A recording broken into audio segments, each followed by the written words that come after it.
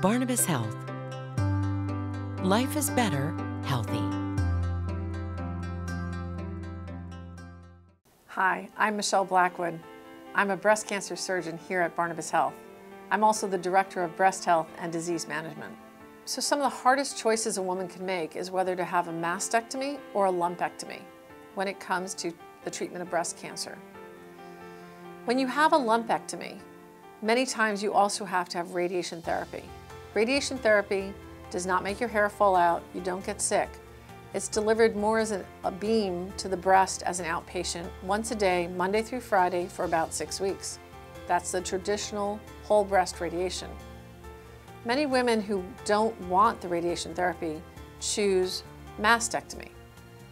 The other reason sometimes people choose mastectomy is because they don't want the fear of recurrence. When you have a lumpectomy and radiation, there's a slight chance of recurrence of breast cancer in the breast. So that chance of recurrence in a woman's lifetime is sometimes usually between 2 and 8%. It doesn't change the overall survival. Survival from breast cancer is usually very good. And yet, women sometimes nowadays have been choosing mastectomy because of that fear of recurrence. The other thing is that sometimes women have to have a mastectomy because either the tumor is too big or there are multiple tumors in the breast. The other reason that women may have to have a mastectomy is because they could have what we call calcifications throughout the breast on their mammogram. And if they have that, it is considered a relative contraindication for a lumpectomy.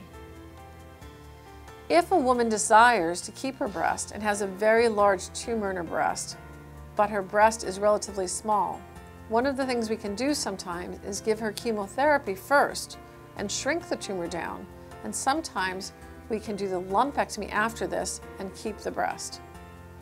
When I talk to my patients about choosing between lumpectomy and mastectomy, we have very, very in-depth discussions. I need to know a lot about them.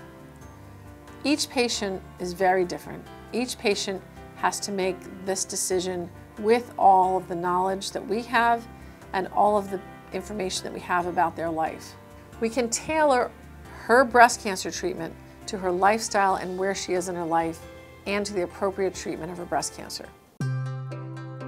Barnabas Health. Life is better.